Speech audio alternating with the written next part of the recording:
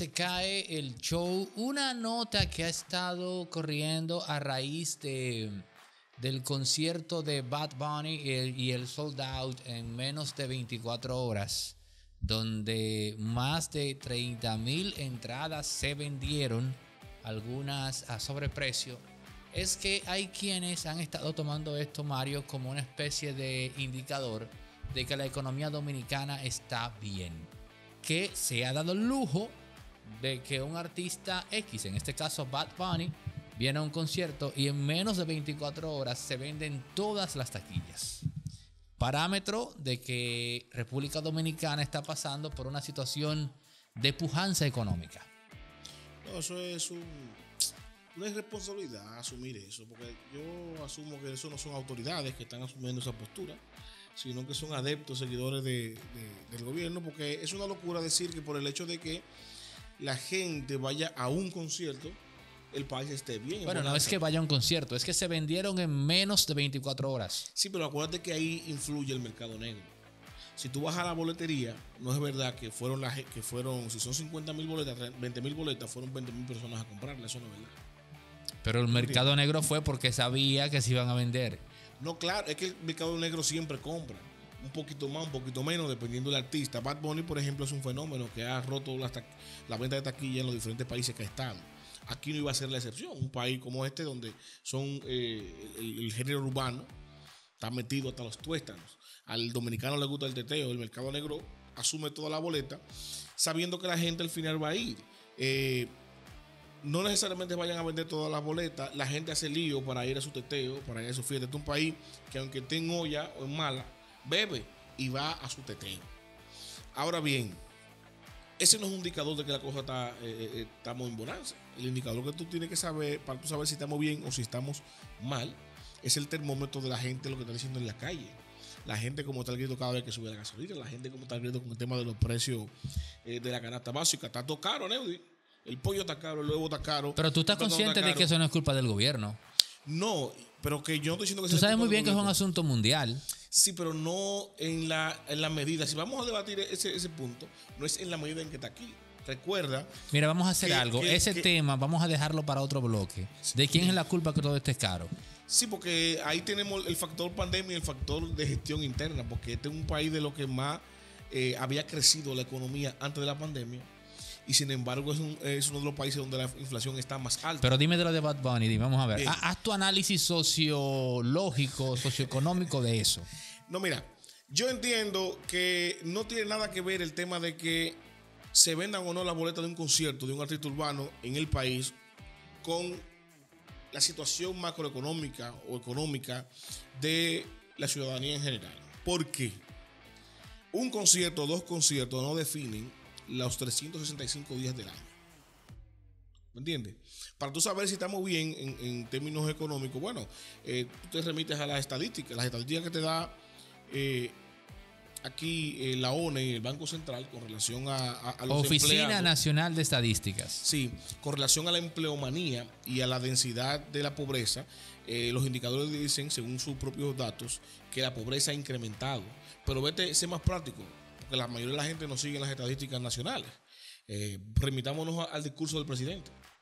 El presidente me dio un, discurso, eh, en lugar de decirte, bueno, estamos tan bien económicamente que vamos a endeudarnos más, vamos a regalarle eh, dinero a la gente. ¿Qué es lo que dice? Vamos a ampliar el plan social, vamos a ampliar la tarjeta, vamos a, meter 300 mil personas más en, en el plan de solidaridad que ellos tienen, que se llama Supérate.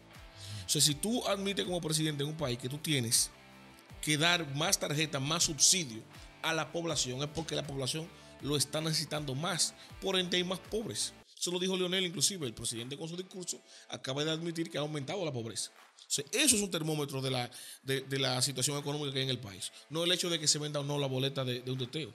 La gente, el dominicano, sin vergüenza, que le gusta eh, chelcha, se deja de comer un plato de arroz por beberse una, una, una, cerveza. Mira, te doy la razón en ese sentido de que no es una variable de progreso económico, pero me voy ahora a lo psicológico.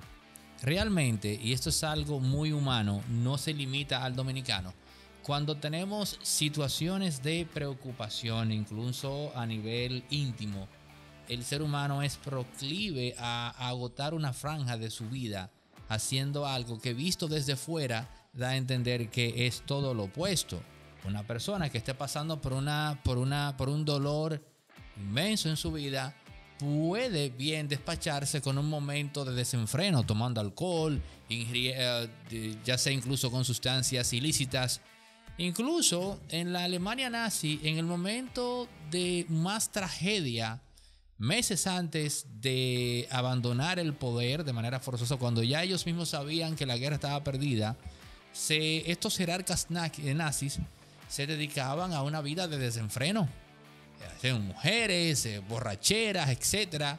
Eso está también documentado. Bueno, ya, entonces jodió, déjame tirar la casa por la ventana. Entonces, ¿por qué digo esto? Bueno, porque yo no puedo evitar la tentación de pensar que este éxito que se ha dado con el tema de Bad Bunny en cuanto a su venta total en menos de 24 horas, yo no puedo evitar conectar eso con lo otro el hecho de que la gente sabe que la comida y el costo de la vida va en, eh, aumento. Y la gente, aunque le eche la culpa a un presidente, el que sea, ahí hay un asunto de doble moral e hipocresía.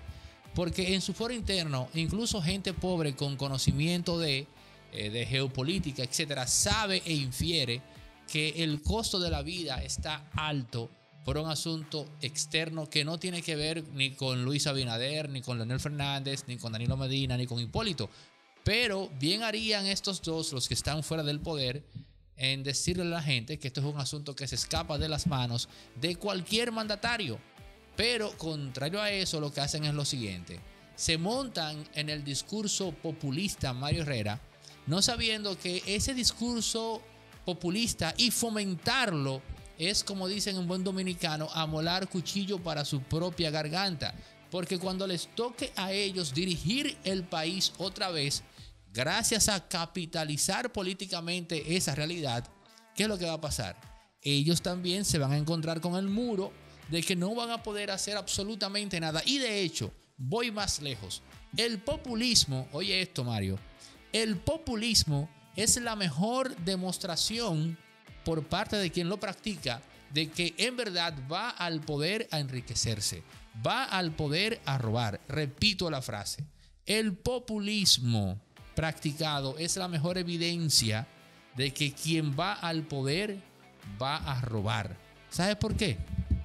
Porque él sabe perfectamente que lo que está pasando es ajeno a un presidente él lo sabe, pero escucha. A la demagogia. Escucha. populismo. Él lo sabe. Porque el populismo sabe, le ayuda a alcanzar el poder. La demagogia que es lo que lo hace.